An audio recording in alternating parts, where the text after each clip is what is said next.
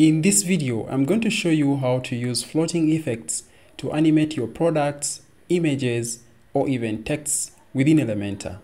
I'll show you how to create this exact floating effect on these products in the first hero section of this website. And you see that this is actually having a different floating effect. This has a different one and this also has a different one. Not only that you can still add floating effects just like i added on this hero section you see like on that product this over here the way it is rotating you can still do it within elementor and also add a floating effect like you see right over here on this image as well, you can add more other floating effects just like you see over here and you can easily apply them to your images, text or even products. So without any further ado, let's get started. To get started, we are going to go back to our WordPress website dashboard and right over here, we're going to go to plugins and I want you to make sure that you have the premium add-ons for Elementor add-on installed. So just to let you know that this is the add-on that is going to enable us to add the floating effects on our Elementor widgets. Once it shows up over here, currently it has over 600,000 active installs. Install and have it activated. And once it's activated, you'll have this menu option below here. Once you click on that, under global features, make sure that the floating effects are enabled. By enable, I mean it should be in green or active. Once that is done, then you can open up any of your pages or sections where you want to add your floating effects. In this case, I'll come over here to my pages and I'll say edit with Elementor. Once that page opens up, apparently this is how our first hero section looks like. But I want to convert that to a hero section like this that has floating products or images on our website. So in case you want to see how I created this exact website, I have a full tutorial on this YouTube channel on how you can create a free WordPress website using Elementor. So to get started, we are going to come over here and say add a new container. This container will run in the row direction. And within this container, we are going to add three other containers. So I'll come here to layout, drag another container, and I'll come here to the navigator and I'll duplicate this container thrice. Now inside this container, we are going to add our products or images. So I'll come over here and I'll look up for the image widget from Elementor, add it over there. Now, we are going to first of all add our first image. So with the image widget selected, come to choose image. Since I have already uploaded my images to my WordPress website, I can select the image and there an image shows up. However, in this case, I want to limit the height of this image. So I'm going to select the image I'm going to come to style and with maximum width, I'm going to change this to 50%. So this will reduce everything proportionally than coming over here to the height option and reduce it because that will kind of get the image stretched. So 50% of this image size looks good for me. The same thing I'm going to do for the other container. Grab my image widget, come over here to choose image, and then I'll choose my image which is this upload it the same I'll do to reduce its size so I'm going to come over here to style maximum width make sure we have the percentage sign selected and I'll make this to be a 45% the same thing I'm going to do for the last container. Image. Grab my image from the media library. Come to style, come to max width, and I'll make this to be a 70%. Now, with our main container selected up here, so I'll name this float images. With it selected, I'm going to make sure that the items are aligned in the center. Now, the other thing I don't want to forget at the moment is to add our background color and also a minimum height for our container. So back here to our editor, I'll come and select my container. Under layout, there is an option called minimum height or mean height. Select VH and I'll make this to be a 95. But I think an 85 would look better in this case. Okay, that's better. Now to style, background type, and here I'll select my theme color one and here I'll change its opacity so I'll make it a 42% and that's now our background color. Good. Now how do we add our floating effects to our images? So with our image widget selected for the very first image we're going to come to advanced and then we have the option called floating effects which comes from the premium add-ons for Elementor select that and here when we say enable floating effects we will get all these other options. We have the translate effect we have the rotate effect we have the scale effect and we have the skew effect. Down here we have the general settings of the direction we have the loop settings for the uh, for the floating effects and also how the movement of this floating effect will look like so as you can see right over here on our hero section, you realize that this image here was given a rotate effect. So we are going to apply the same effect. So to do that, we are going to come back here to our editor and here we'll choose the rotate effect. So we'll enable it or turn it on. I'm going to make that on the X axis. From it will be 3 degrees and 2 it will be 12 degrees, something like that.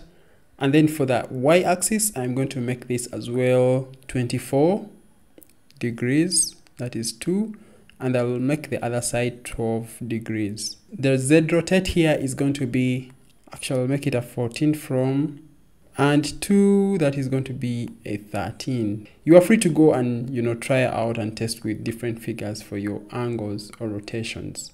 First of all, I'm going to say save as a draft and we're going to open this in a preview to see how this looks like. So say open in a preview and boom, there our image rotates exactly how we wanted it to be rotating like this over here.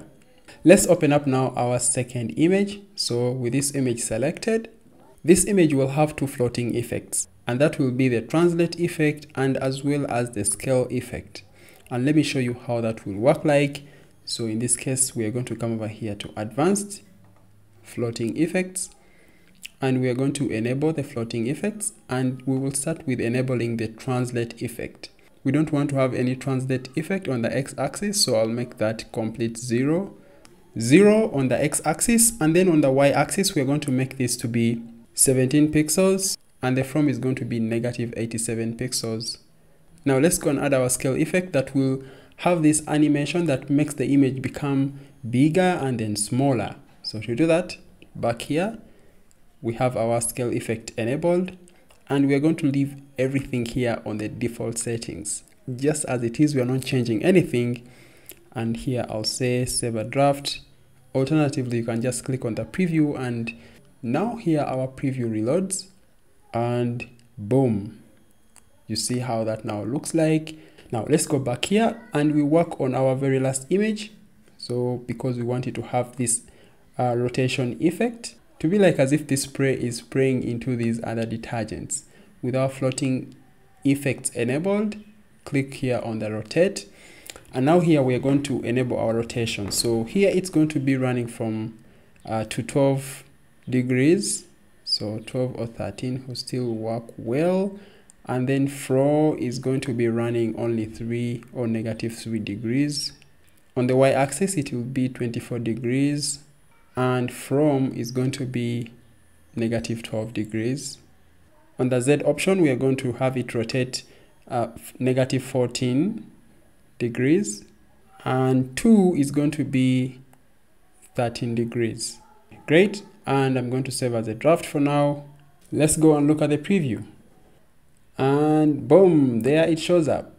Now you can see that they both have the floating effects and they look exactly like the demo we saw earlier at the start of this tutorial.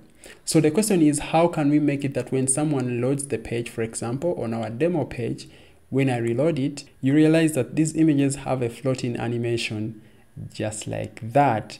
And you realize that this image here doesn't float in, but only appears once all the other images have shown up. So how do we do that? Now, that is not something that we are doing with the premium add-ons for Elementor. It is something that comes inbuilt in the Elementor page builder. So back here in our editor, we're going to start with the first image and we are going to come here to advanced and down below after floating effects, there is an option called motion effects. This comes with Elementor under the entrance animation and I'll look up for the fade in up. So this effect here and I'll leave it on normal. That's it. Now for the next image, I'll have it selected under motion effects. And here I'm only going to choose the fade in just like that for it to appear. And for the last one, we are going to select it and motion effects. Here we are going to select also fade in up just like that.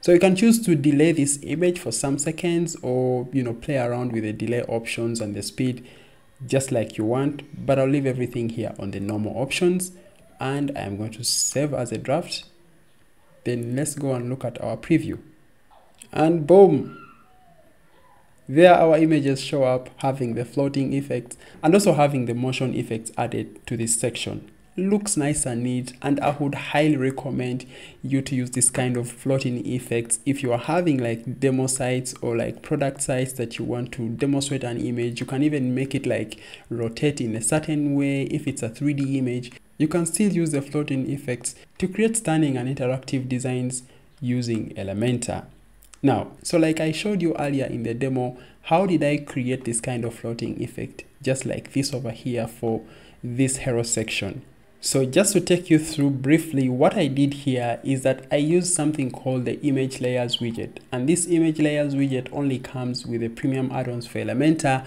And if you have not watched my video about the image layers, then you should check it out. I'll be leaving a link in the description of this video so you can understand how the image layers work with Elementor. Now, after adding all my image layers, I selected the image that is having that image. You see this image for this product. So once I had that image selected, so I'll look it up over here. This is it here. And under animations, I added a scroll effect, which is a rotate effect and it rotates clockwise at that speed. Now that means that every time I am scrolling, it does rotate in the clockwise direction. Now this effect is only applying to one image. Remember these are different layers. This is one layer. This is another layer, another layer and another layer. And that is what you see right over here. Now for this image here, what I simply did was have it selected and under animations, we have the option to enable the floating effects. And I added a translate effect that is applied both on the X and the Y axis. And that's how you see it flowing just like that. And that's how I managed to achieve a design that looks just like this over right there. The other bit is how did I also create this design here that has this detergent and this Lottie animation. So here is my section and when you look at this section, it has actually three containers. So the first container that is holding this text and also this image that I actually made it to have a negative margin to pull the image to appear like it is floating into the next container. So under advanced, you see that I gave it a negative margin. Now the other bit is in the middle container. So the container that is holding our image, this over here, I made sure that first of all, in that container, I added two widgets, which is the image widget, the image widget, which is holding in this case our detergent, and also a Lottie animation widget. And I added my Lottie animation, which you can pick up from the Lottie website. Now with my image widget selected, I came over here to advanced, came to floating effects, and right over there I added a translate effect on the X and the Y axis. Now that's it all for this tutorial. I hope now you have an idea on how you can use floating effects in your designs to make them interactive and even look much better. So in case you have any questions or comments about this video, let me know down in the comment box below. Check out the description to find out the links to the related videos mentioned in this tutorial. And finally, make sure that you check out the responsiveness of your sections before you actually take your website live. Thank you so much for watching and see you in the next one.